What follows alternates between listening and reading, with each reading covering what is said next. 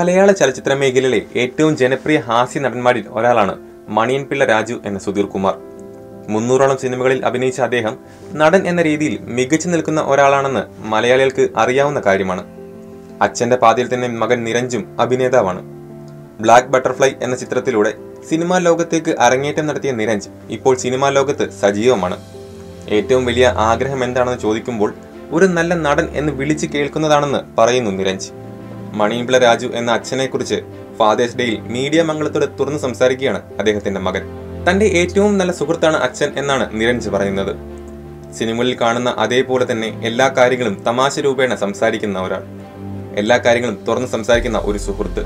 അതോടൊപ്പം തന്നെ മക്കളുടെ എല്ലാ ആഗ്രഹങ്ങളും സാധിച്ചു തരാൻ ശ്രമിക്കുന്ന എല്ലാ കാര്യങ്ങളും ശ്രദ്ധിക്കുന്ന ഒരച്ഛൻ. ചില അച്ഛന്മാരുണ്ട് മക്കളോട് വളരെ സീരിയസ് ആയി മാത്രം സംസാരിക്കുന്ന സ്നേഹം പ്രകടിപ്പിക്കാതിരിക്കുന്നവർ. ഒരു പ്രായം കഴിഞ്ഞാൽ സീരിയസ് ആയി പോകുന്നവരുണ്ട് എന്നാൽ മണിയൻപിള്ള രാജു അങ്ങനെയൊന്നുമല്ലെന്നാണ് നിരഞ്ജ് പറയുന്നത്. രാവിലെ എണീക്കുമ്പോൾ മുതൽ തമാശ പറയും.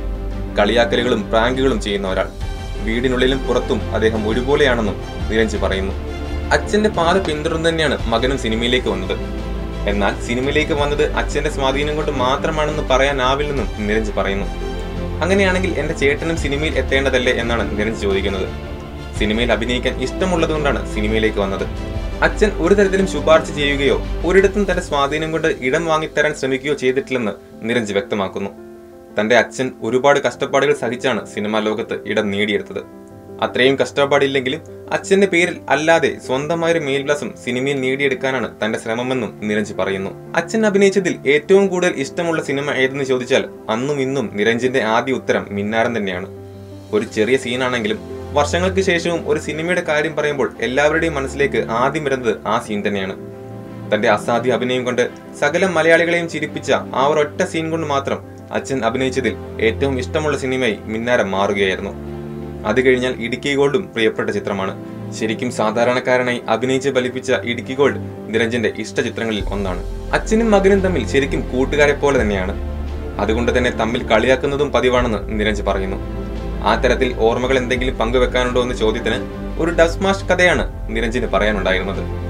സിനിമയിൽ അഭിനയിക്കുന്നതിനൊക്കെ മുമ്പ് ഡബ്സ്മാഷ് ചെയ്യുന്നത് പതിവായിരുന്നു. യു കെയിൽ പഠിക്കാൻ പോയ സമയത്ത് മമ്മൂട്ടി അങ്ങളുടെ സിനിമയിലെ രംഗങ്ങൾ ഡബ്സ്മാഷ് ചെയ്തത് അച്ഛൻ അയച്ചിരുന്നു. വീട്ടിലിരുന്ന ഡ്രസ്സ് ആയതുകൊണ്ടും അത്ര നല്ലതല്ലെന്ന് തോന്നിയതുകൊണ്ടും ആർക്കും അയക്കരുതെന്ന് പ്രത്യേകം പറഞ്ഞിരുന്നു.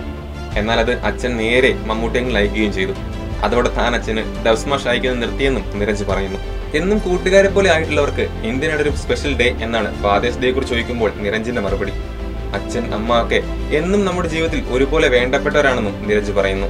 സ്പെഷ്യലായിട്ട് എന്തെങ്കിലും ഗിഫ്റ്റ് കൊടുക്കുന്നുണ്ടോ എന്ന് ചോദ്യത്തിന് ഏറ്റവും സ്പെഷ്യലായ ഗിഫ്റ്റ് ഞാൻ എന്ന മകൻ അല്ലേ എന്നാണ് നിരഞ്ജ് പറയുന്നത്.